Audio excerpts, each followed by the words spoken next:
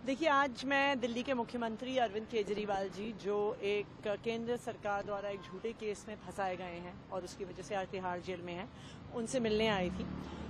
जैसा आप सब जानते हैं, अरविंद केजरीवाल जी को अपने से ज़्यादा चिंता दिल्ली वालों की है। और जैसे ही मैं उनसे मिलने गई, उन्होंने सबसे पहले बिजली के बारे में और खासकर पानी के बारे में ये पूछा कि उन्होंने कहा कि उन्होंने टीवी पर देखा है कि किस तरह पानी की कमी चल रही है, कि किस तरह से दिल्ली के लोग परेशान हैं।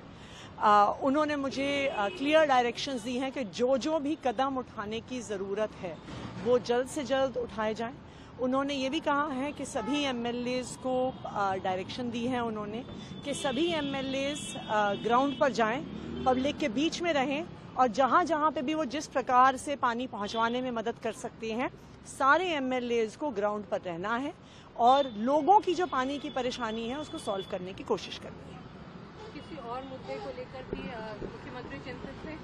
उनकी चिंता दिल्ली के लोगों की है, दिल्ली के लोगों के कामों की है, और इसीलिए उन्होंने बुलाया मुझे और सारी खासकर पानी और बिजली के बारे में पूछा।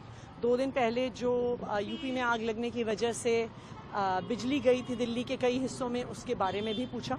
उसके बारे में भी कहा है कि तुरंत सब अधिकारियों के साथ बैठकर ये फिर से समस्या ना हो सके, इसका समाधान हमें ढूंढना है। अरविंद केजरीवाल जी, चाहे जेल के अंदर हों, चाहे जेल के बाहर हों, वो दिल्ली के लोगों के बारे में ही सोच रहे हैं। दिल्ली के लोगों की समस्याओं का क्या समाधान हो सकता है? दिल्ली के लोगों के लिए हम और क्या बेहतर कर सकते हैं? सिर्फ़ इसके बारे में सोच रहे हैं मैम, नीट के स्टूडेंट्स के लिए बोल दीजिए। मैम, पंद्रह